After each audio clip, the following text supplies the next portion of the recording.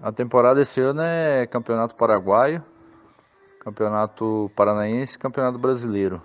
O brasileiro, de vez em quando, está batendo data né, com, com o paraguaio. Então, a princípio, estamos focados no, no paranaense e no paraguaio. E até então, quando tiver o brasileiro, vou continuar indo, torcer para não bater mais data com o paraguaio.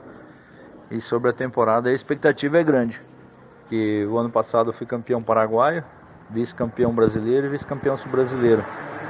Então a expectativa esse ano era para para tentar ganhar aí o paranaense e o brasileiro também e o próprio paraguaio de novo, né? E esse fim de semana a gente vai para Campina Grande do Sul, a segunda etapa do Paranaense, aonde eu, eu estou em segundo lugar na vez 3 nacional e segundo na